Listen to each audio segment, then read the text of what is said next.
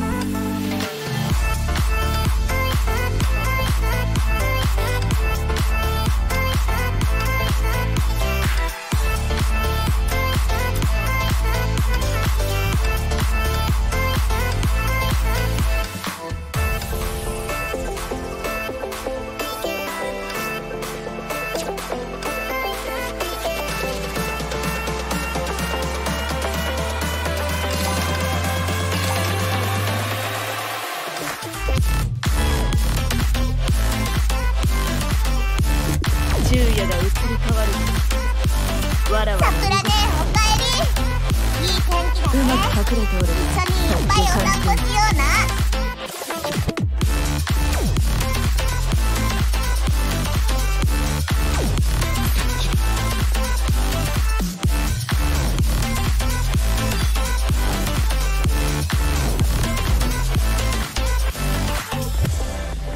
危険は常に予期せぬところにある。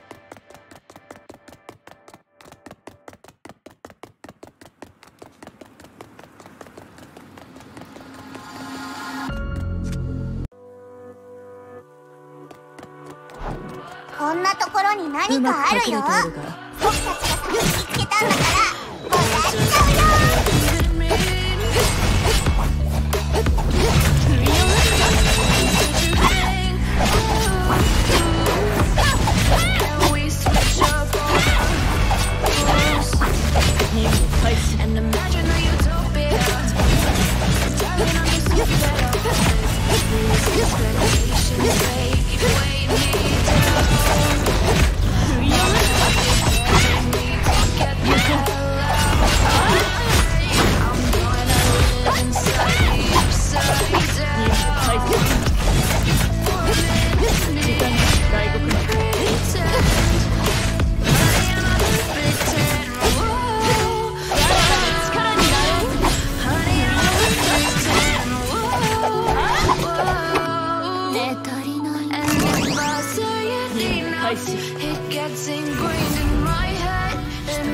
the door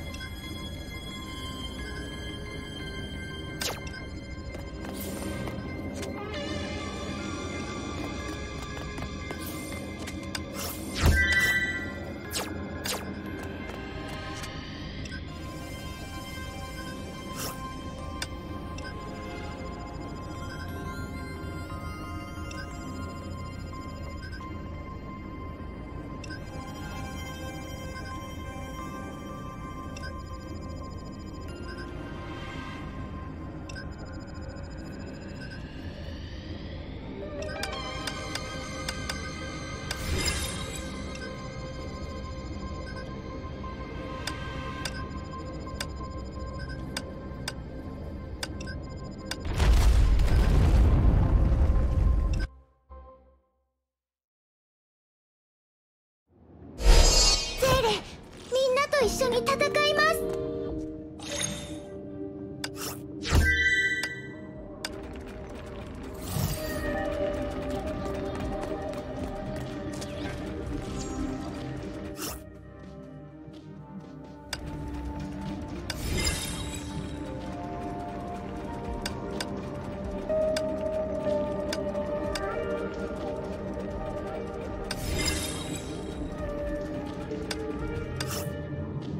景色をブローニャお姉ちゃんにも見せてあげたいな。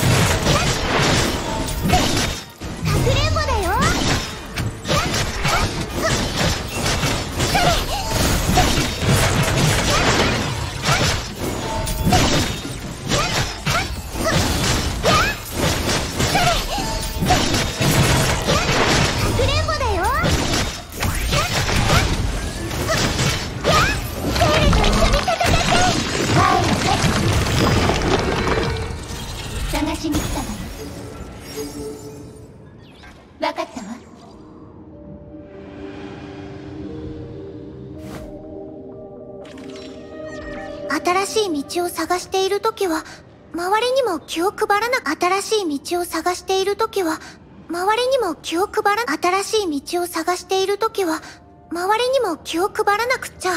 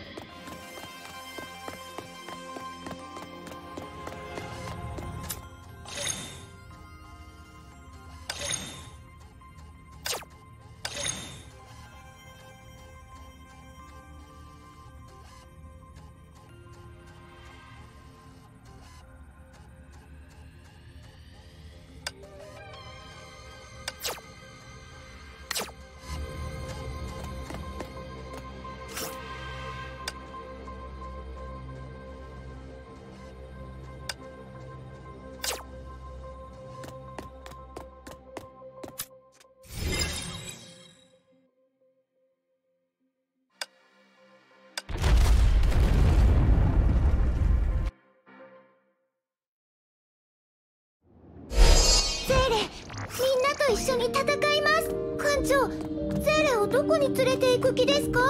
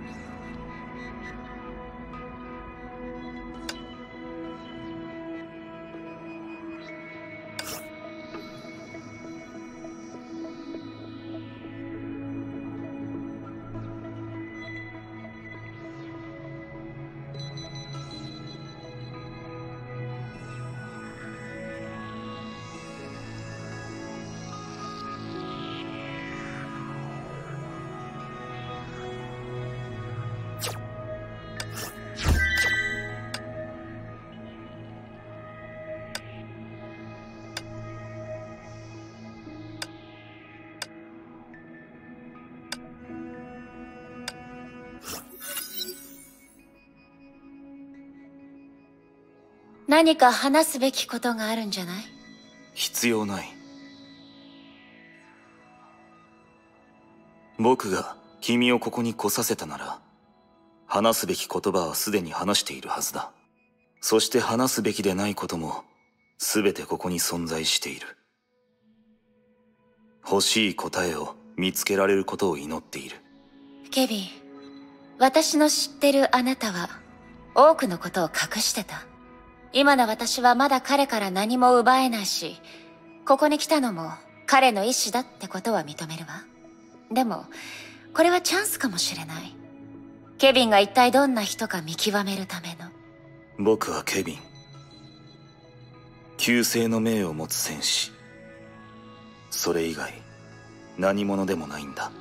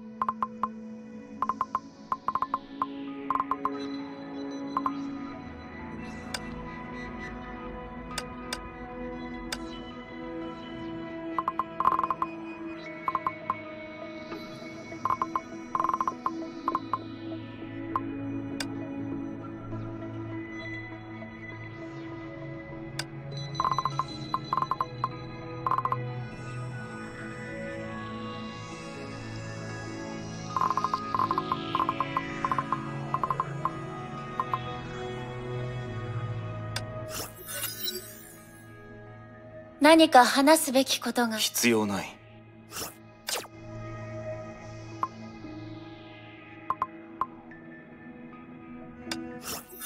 どんな人も世界の本当の姿を見て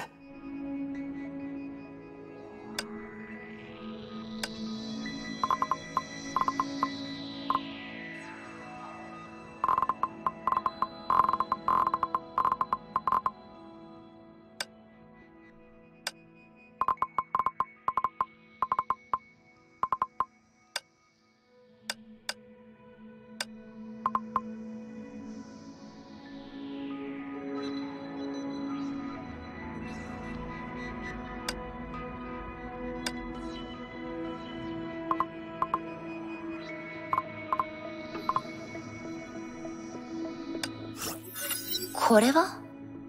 天下制裁を初めて鞘から抜いた時その残存した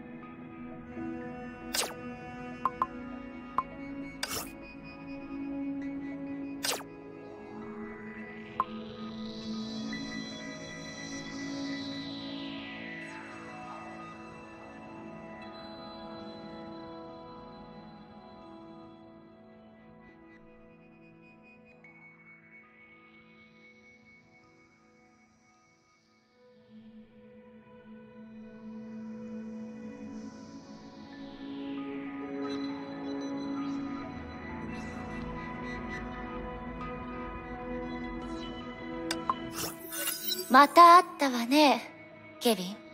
雷の律者こうして見てみると、あなたは英傑の中でも例外ってわけじゃないよね。あなたも含めて、ここにいる大多数の人たちの律者への態度は、少し意外だったわ。外にいる時は、性格のせいでそんな態度をとっていたのかと思っていたけど、今考えてみると、雷の律者。君がここに来たのは許可されたからだ。事態をまだコントロールできるのであれば過剰に反応する必要はない。まだコントロールできる？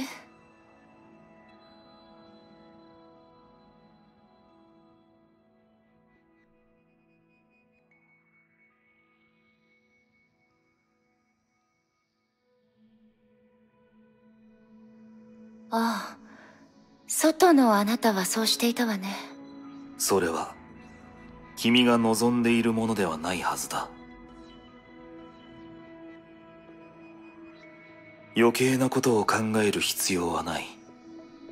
僕は務めとして自分がすべきことをするだけだ。君の望んでいるものを探しに行くといい。それが本当にここにあればの話だが。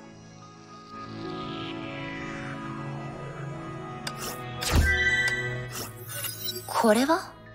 天下制裁を初めて鞘から抜いた時その残存した炎を凍結させたんだ。自分の力で神の鍵を凍結させたの？それができなければ天下制裁は神の鍵にはならなかった。そう。なら、それはあなたにとってどういう意味があるの？破壊だそれを私に？記憶体としての僕はもうこれに形成される必要はない。形成。あなたも後悔することがあるの？知らなかったわ。天下制裁それがもたらした結果は僕の本意ではない。しかし僕が言った形成は後悔という意味ではないんだ君にしかできないことをやり遂げるにはまず君にしか背負えない代償を背負わなければならない。この炎は僕にとってそういう意味さ。あなたが前に言った、私には背負えない決断って、この話のことだったの。律者君は夢をまだ見るか？自分が救えなかった人自分のせいで死んだ人の夢を見るわ。だが僕はもう見ない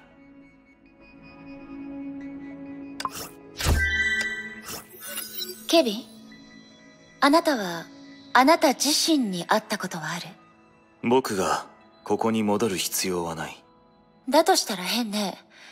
私の目から見れば、あなたと彼は何の違いもない。でもあなたたちには数万年の差がある。時間があなたに何の後も残さないなんてこと、不可能よ。ケビンはそういう人間だ。昔も今も変わらない。律者の君も思いがけないことがない限り普通の人間よりも長生きする。君の見たもの聞いたものそれらが君に残した後はどんどん薄くなる。そして死ぬべき時に君の時間はすでにある瞬間で止まっていたと気づくはずだあなたはやっぱり彼とは少し違う。今ので気づいたわ。うんあなたは彼よりずっと多弁ね。私の知ってるケビンは、こうして私と話すことなんて滅多にないわ。まるで感情というものが最初から存在しないかのように。いやそれは君がまだ彼のことをよく知らないからだライデンメイ僕が言ったように過去でも今でもケビンは変わらない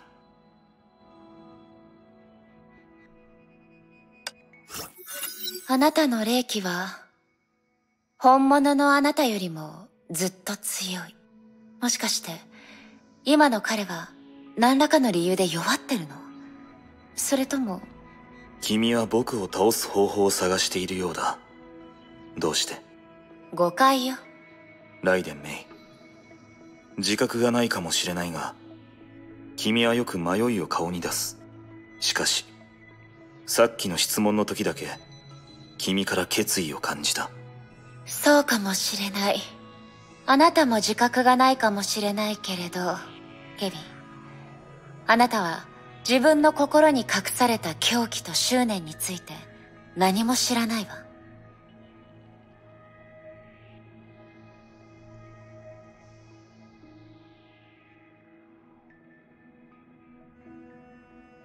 律者が人類のために戦えるなら、人類は人類の手によって滅びることもあり得るって、あなたが教えてくれたんだもの。違う。律者は人類のために戦うことはない。彼女はそうだったし君も同じだ。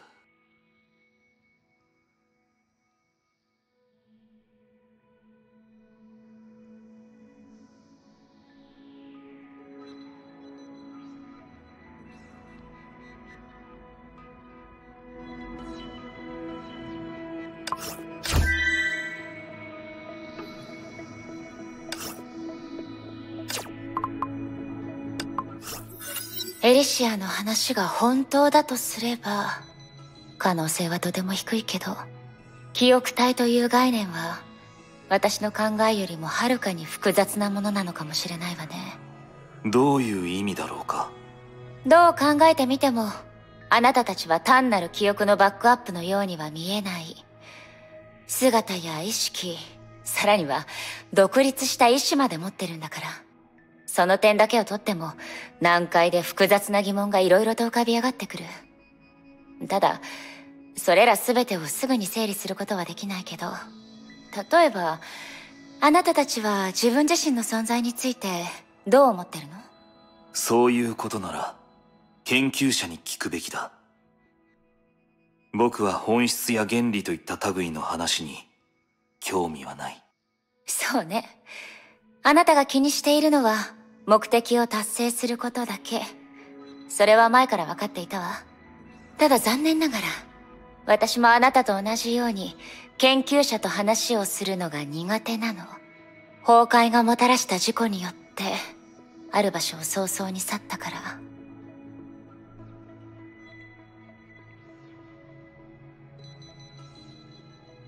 よしましょう。そんなことはどうでもいいわ。とにかく、これは私の直感だけど、あなたたちは同じように自我を持ってる。でもこんなにも長い時の中で、本当に一度も違う考えを抱かなかったの？彼も？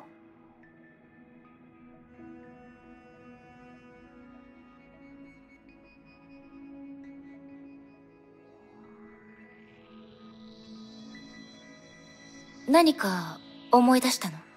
いや君が言ったように繰り返し説明する必要のないさまつな問題だ。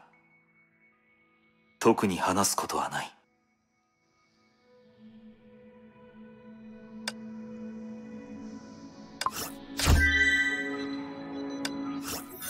これはあなたのものなんでしょ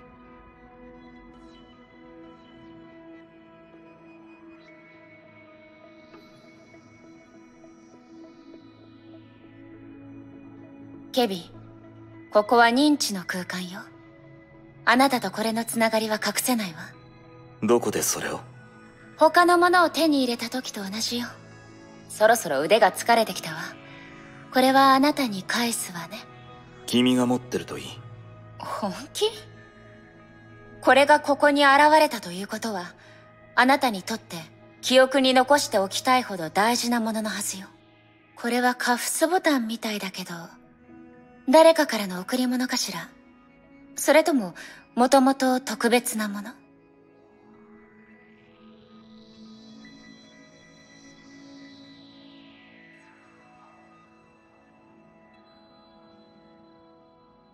確かに僕は隠し事などしないと言ったがそこにプライベートは含まれていないはずだ。このことに時間を費やしたくない。そういったことは本物の僕に聞くべきだ彼なら興味を持つかもしれないそれはないわ、ケビン。私から見て、彼は氷みたいな人よ。執念や沈黙が彼の骨には刻まれてるみたい。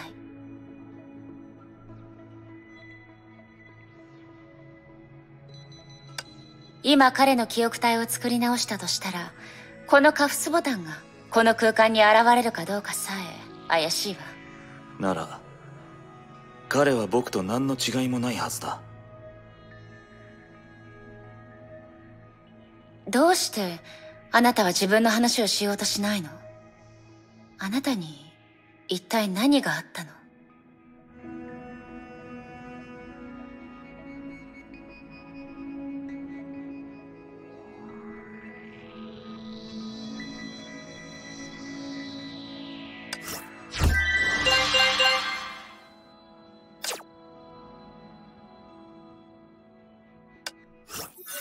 ただの偶然かもしれないけど、この古の楽園の中で、ケビン・カスラナという名前を一度も耳にしたことがないわ。何を言っているのかわからないあなたの名前よ、ケビン。ここに来るまでずっとそうだと思ってた。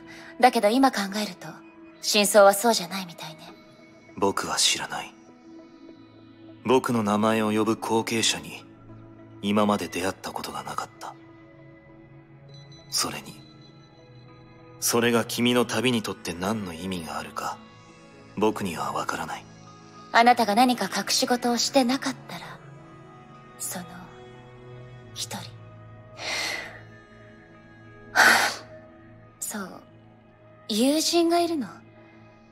あなたと同じ名字を持ってるから、何かつながりがあるんじゃないかと思って。名字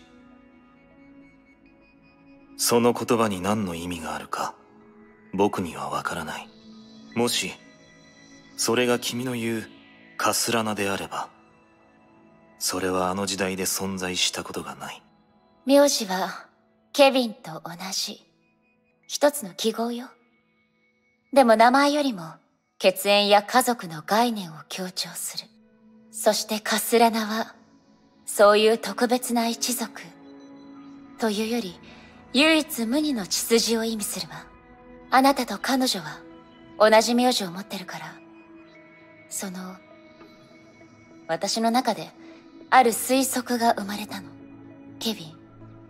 あなたは自分自身の子孫をどう思う？もし彼女に会う機会があったら、あなたは彼女にどんな言葉をかけるの？僕に子孫がいるはずないライデンメイだがその質問の答えだけを知りたいのなら自分の血筋を気にする必要はない僕の罪と責任は僕一人で背負う僕が伝えることはそれだけだ やっぱり、何でも一人で背負おうとする。そういう厄介な性格も、カスラナの血なのね。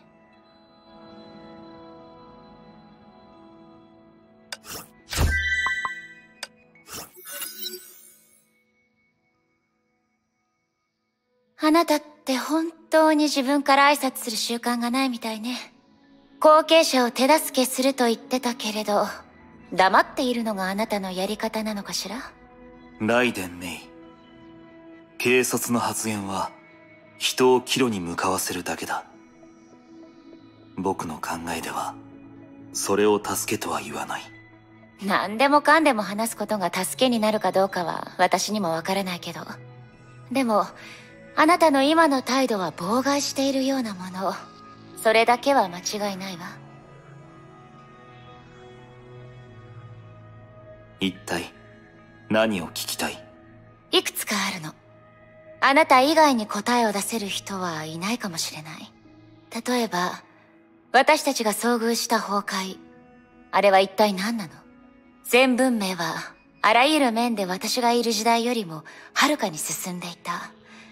この点に関しては、同じ認識のはずよ。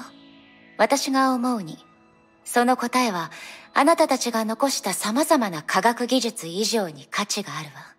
僕たちが答えを知っていればメイはきっと確実に勝利できる手段を作り出せただろう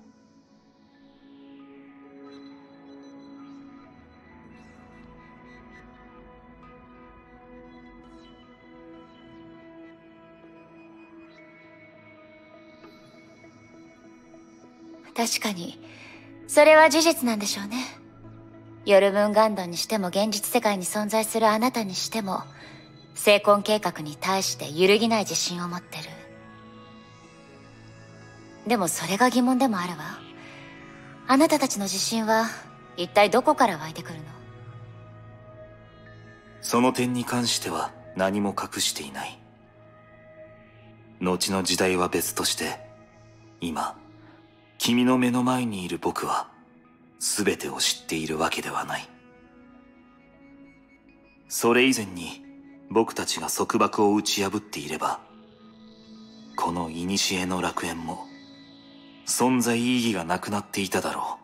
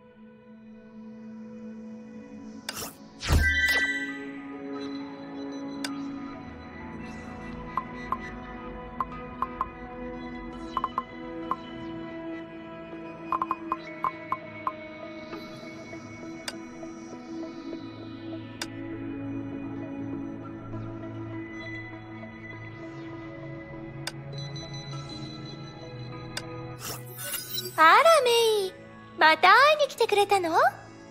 また？ええ女の子だから恥ずかしがるのも無理はないわよね。わかる。わかるわ。お望みなら今回は私があなたに会いに来たってことにしてもいいわよ。何かトラブルでも起きたの？話してみて。メイのお願いなら絶対に断らないからもちろん。ただ私に会いたかったと言ってくれた方が嬉しいに決まっているけどね。さすがにちょっと困惑せざるを得ないんだけど、古の楽園にとってあなたは特別な存在なの？それって私が特別綺麗ってこと？それとも特別可愛いってこと？そういうことはよく言われるけどメイの口から聞けるなんてとっても嬉しいわ。いいえ、そうじゃなくて、古の楽園に来た他の人たちも、私みたいによくあなたに会っていたの？もうメイったらそんなに自分を過小評価しないで。それとも何か誤解してる？メイの経験は他の人とは違うに決まっているでしょ？よく私に会うのはあなたがあなただからよその理由についてはメイよく考えてみてねもう分かりきってるでしょうけど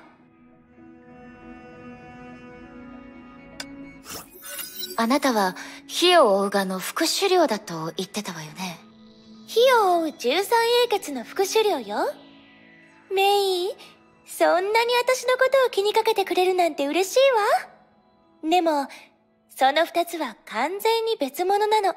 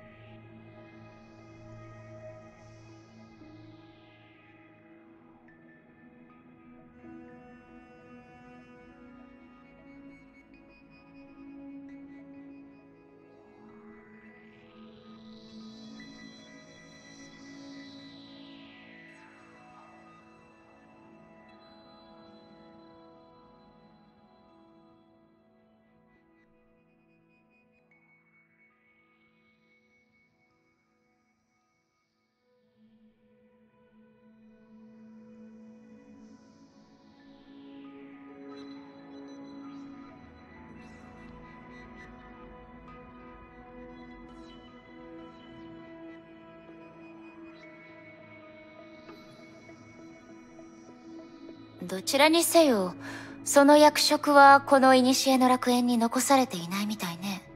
だって、私の知る限りだと、あなたがそれにふさわしい役割を果たしているようには見えないもの。メイ、どうしてそんな風に思ってるの？ちょっとショックなんだけど。見て。私は頑張って、上品さ、美しさ、可愛らしさのバランスをとってきたのよ。これこそ、副主要にとって一番大事な役割でしょ？だって、英傑たちの顔なんだもの。私が担う役割は一種の、象徴的な意義ってやつ？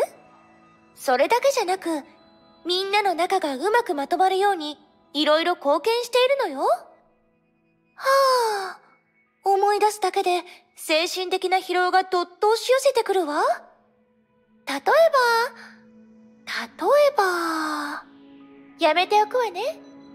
こんな感傷的な話はまた今度にしましょう。それって、思いつかないってことよね。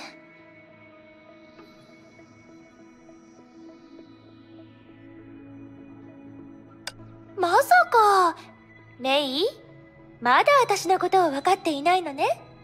もやもやした気分を残すことは、次に会うためのきっかけになるのよ。嬉しいでしょ？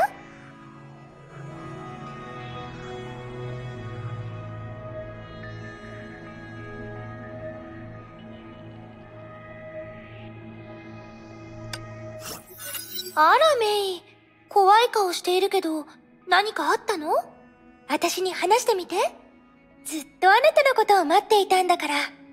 その逆で、何もないからよ。嘘でしょ？メイ、古の楽園にこれほど多くの変化をもたらせる人なんて他にいなかったわよ。私が知ってる第三律者より、メイの方がずっと魅力的だしね。あの時代の第三律者を知ってるの？あら、私ったら変なことを言っちゃった？メイの考えてるような話はないわよ。ただの浅い関係でしかないの。だいたい、資料で見た程度ってところかしら。だけど一つだけはっきりしていることがあるわ。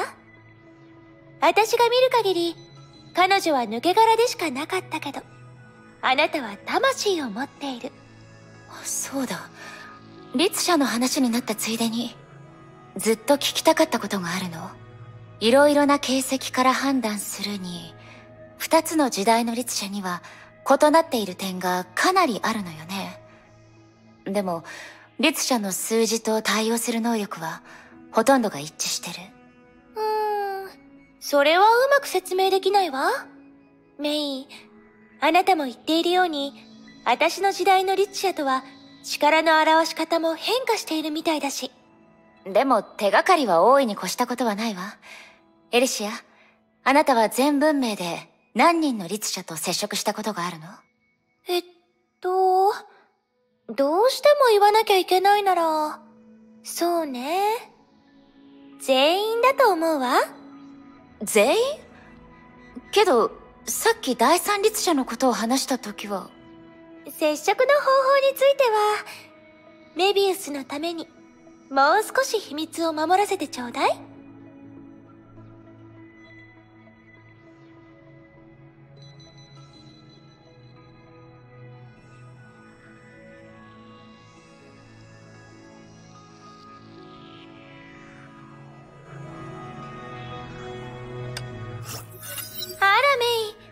あなたに会うたびに嬉しくなるわ。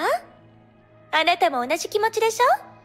だからこそ待ちきれなくなって、私に会いに来るし、いつもさよならしたがらないのよね。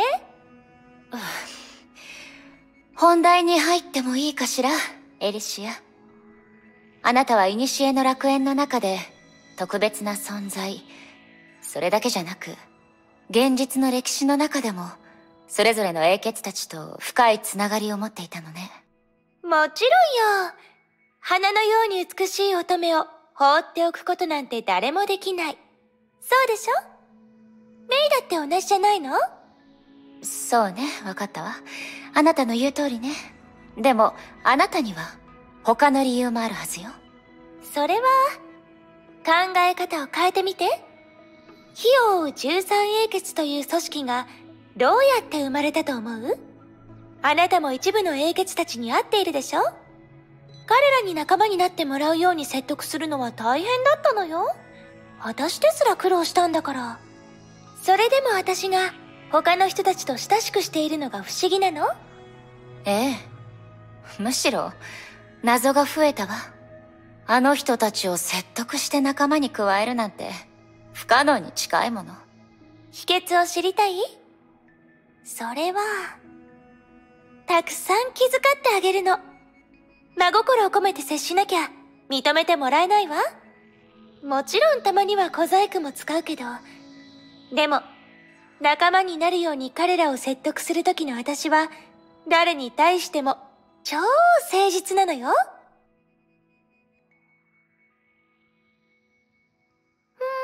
ーん。まだ信じてもらえてないみたいね。それなら、私の言う通りにやってみたら？あなたの今後の旅で役に立つかもしれないわよ。あ、そうね。私が練習台になってあげるっていうのもありかもしれないわ。はい、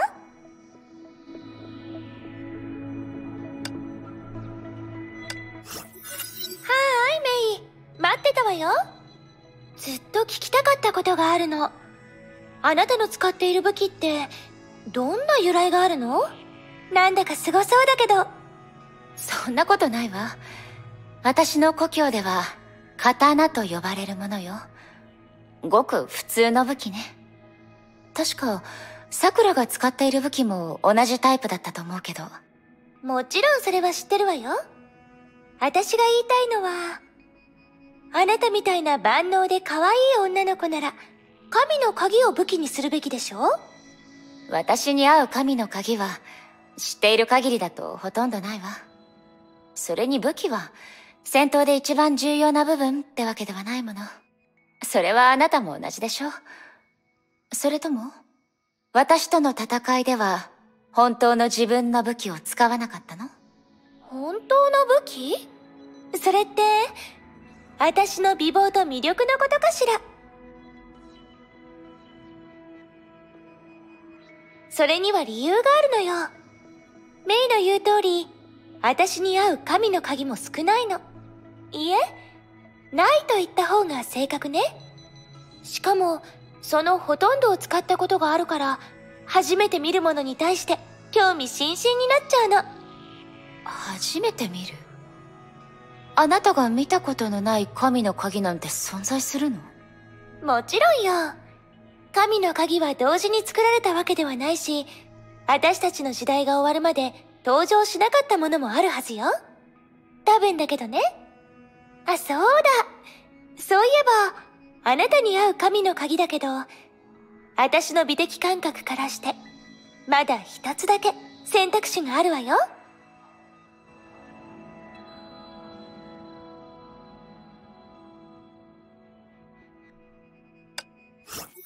いつの間にか、メイはずっと私のそばにいるようになったわね。どう？ここが気に入った？それとも、他のものが気に入ったのかしら？わかってるはずよね。誰かさんが意図的に何かを隠していなければ、私はとっくにここから出ることができていたわ。何かしら？最初の言葉しか聞き取れなかったわ。まあ、それを返事ってことにしておくわね。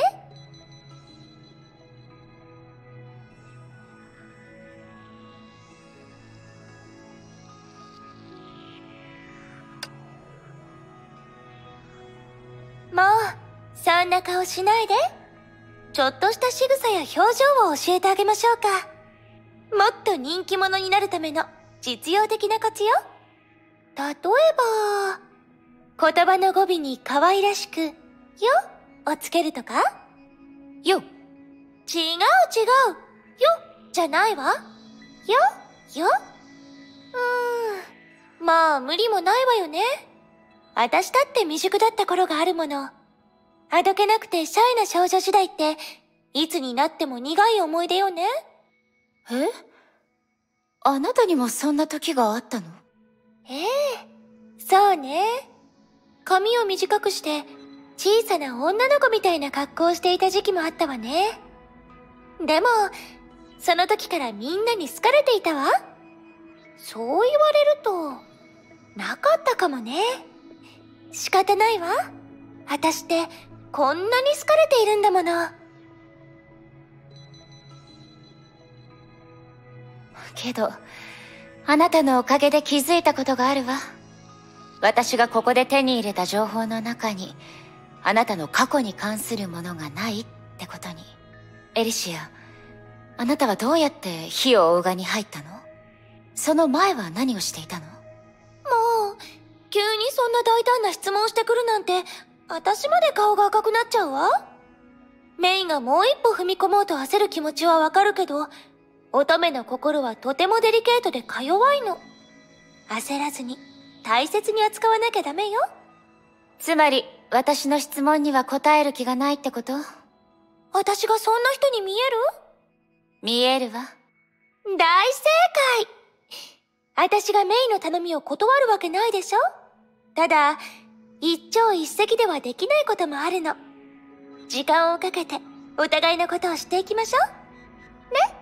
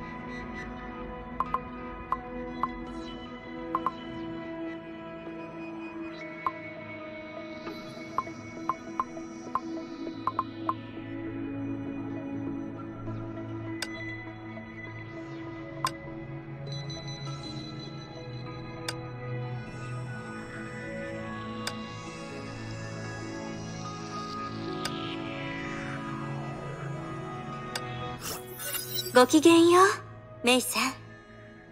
答えを求める旅は順調かしら？まあまあってところね。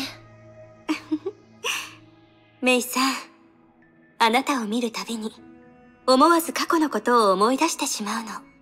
あなたは、若い頃の私とそっくりだわ。目には誇り、自信、それと、すべてを顧みない決意がある。あの頃の私はデビューしたばかりで、次の公演があるかどうかもわからなかったのに。遠い昔の出来事だけどね。あなたの芸能生活はずっと順風満帆だと思ってたわ。そんなことないわ。同業者の競い合い、先輩からのいじめ、マネージャーの裏切り。似たような難題がまだまだあったわ。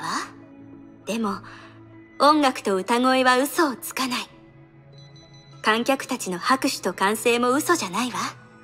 自身の光を研ぎ澄まし続けたら、きっとそれは、誰も無視できなくなるものになると、私はずっと信じてる。ありがとう。覚えておくわ。そうかしこまらなくていいわ、メイさん。過去のことをあなたに話しただけよ。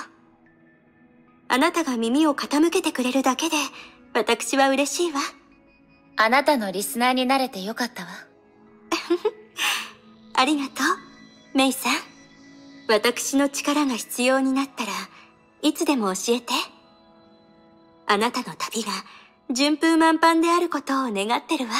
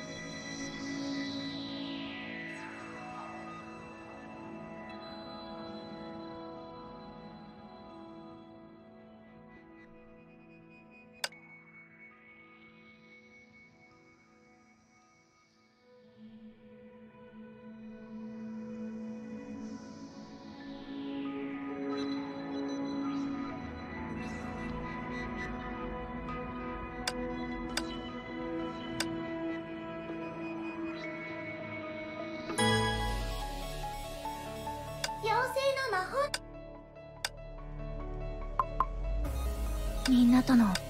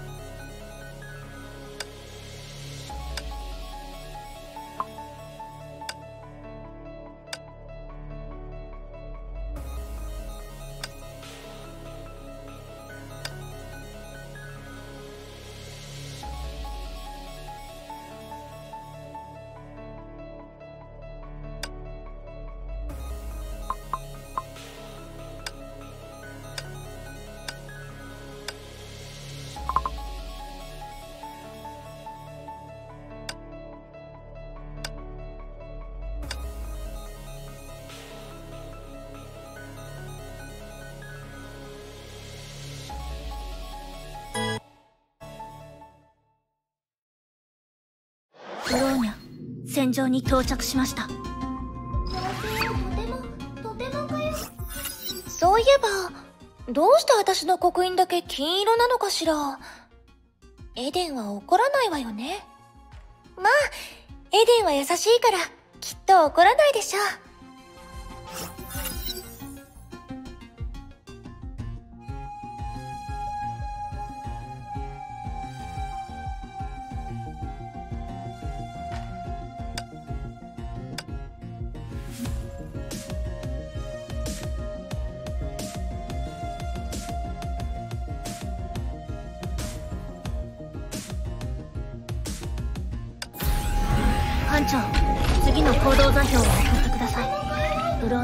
行動中艦長次の行動座標を送ってください。ブローニャ戦場に到着しました。ブローニャ行動中。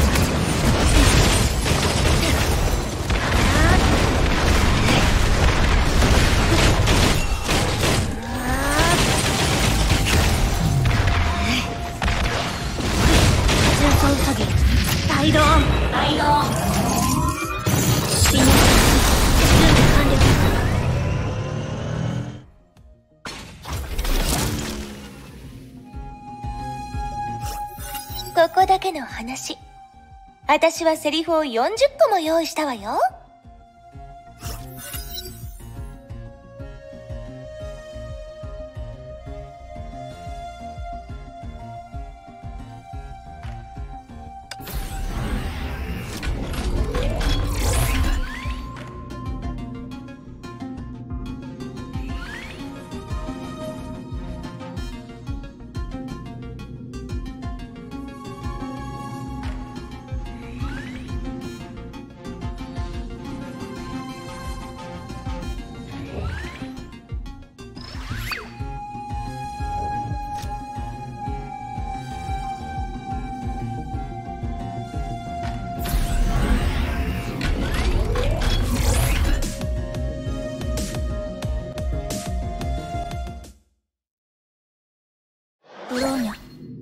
に到着しま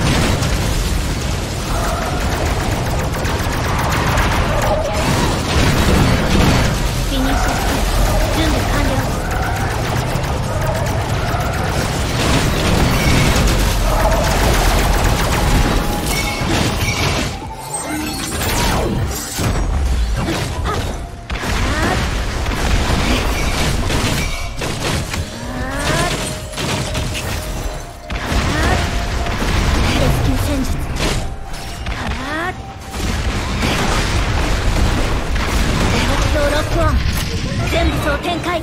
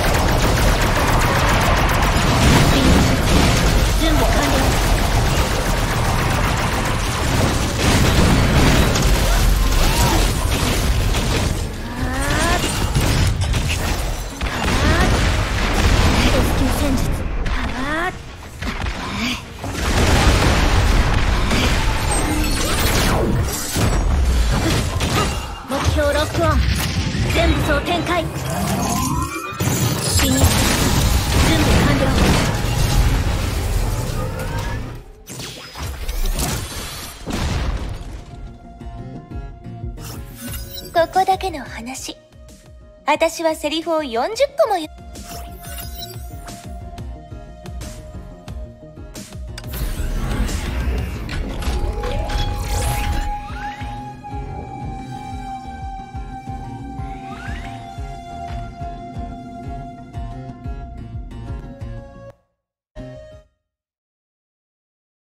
ブローニャ戦場に到着しました。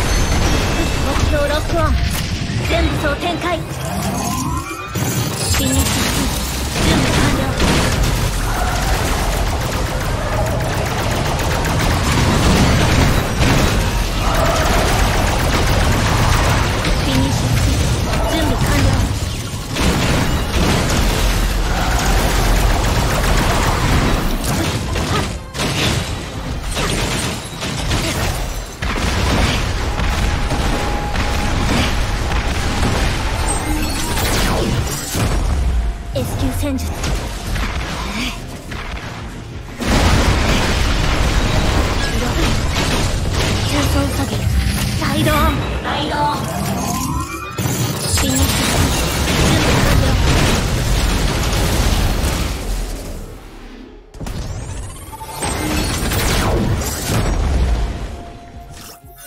私はたくさんのステージを見てきた。けど答えを求めるこのステージではあなたは紛れもない主役よ。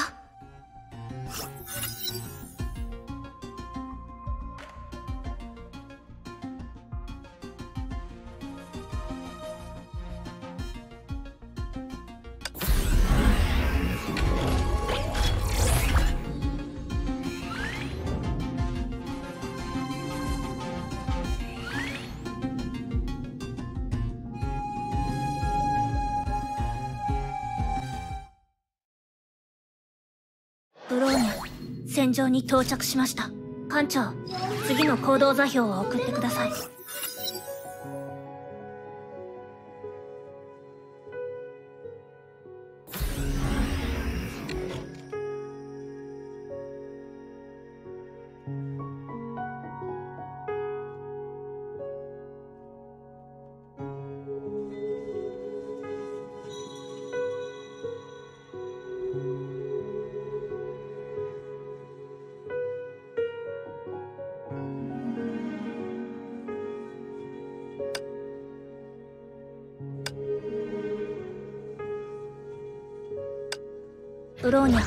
次の指示を待っています。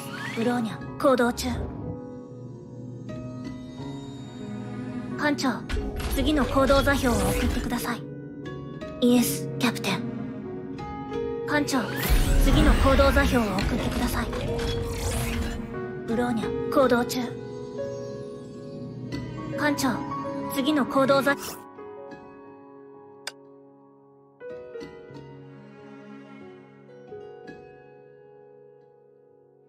日は送ってください。ブローニャ行動中。ブローニャ戦場に到着しました。艦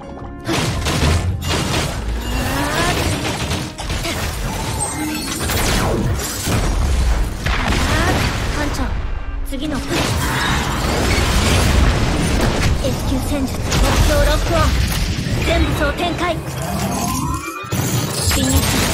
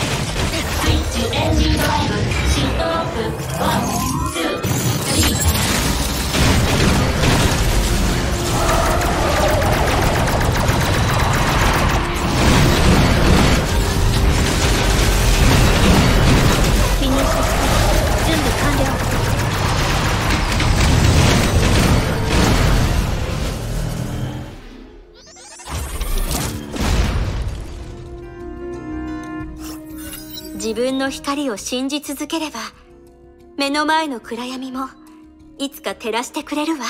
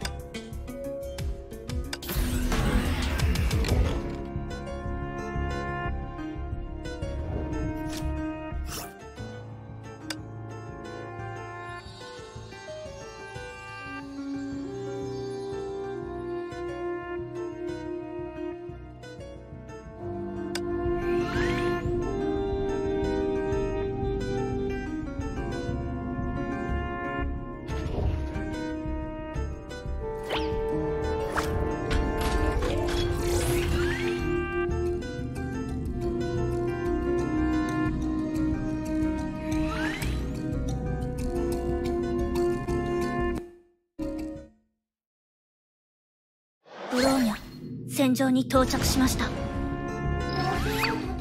ブローネ行動した S 級戦術。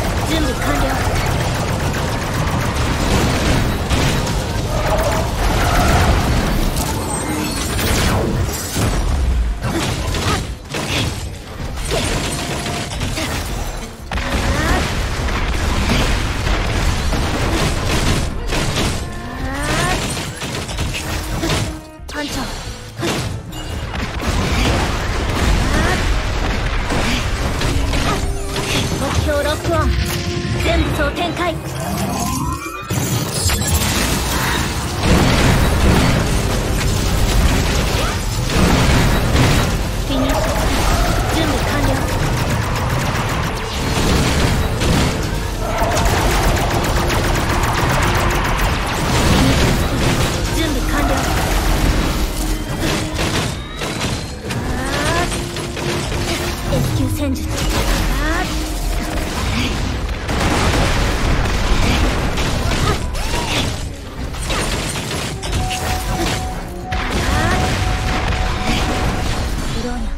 ャ行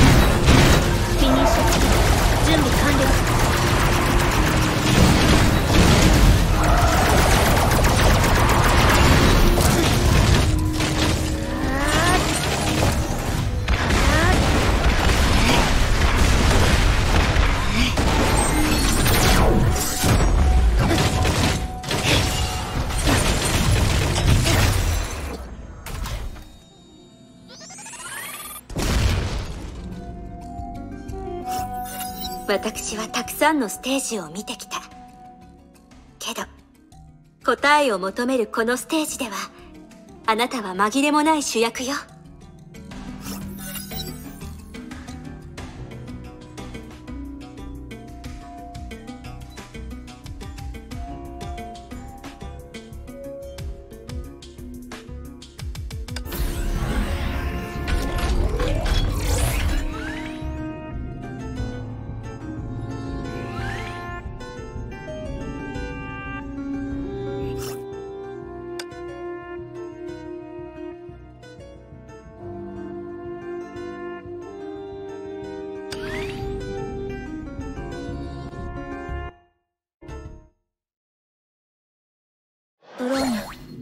に到着しました。